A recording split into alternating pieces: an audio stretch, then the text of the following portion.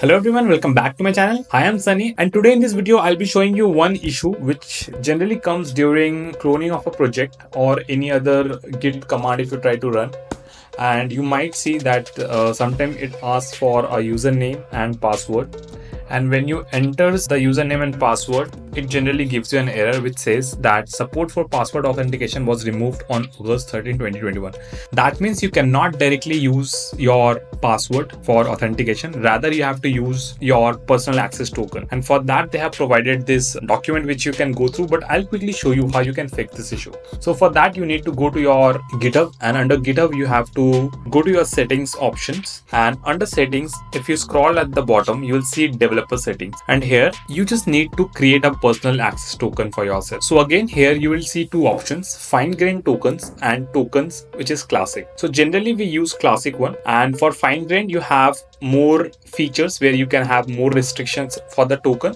But for now we'll be using tokens classic. And here you see generate new token drop down. Here you just need to click on generate new token classic. And you get an option like this where you need to enter some name for your token. I can say token just and then you can select the expiry. For now i'll be selecting just one day expiration. But in your case you might want to select expiration for a longer duration and you can also have option to select no expiration.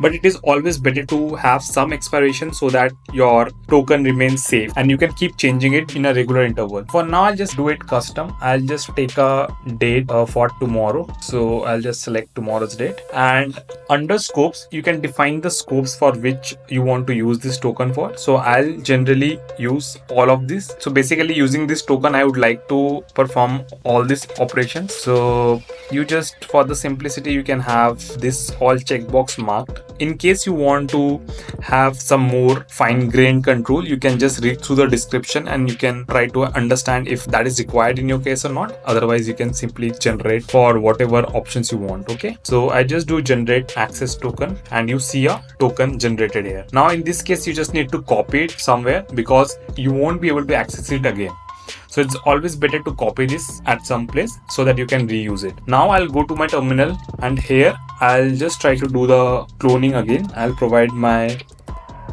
username and then I'll simply paste the token. And if I hit enter now you see this project got cloned successfully. So I hope this is clear. This is a very simple issue which we can resolve just by generating one personal access token. So I hope I am able to provide some value through this video. In case you like this video, please hit the like button and also in case you find any issue, you can comment down. I'll try to resolve that and uh, do share this video with your friends. And if you're someone who is new to this channel, I would recommend you to browse through my channel so that you can find more valuable contents. So that's all about this video. See you in the next one. Bye.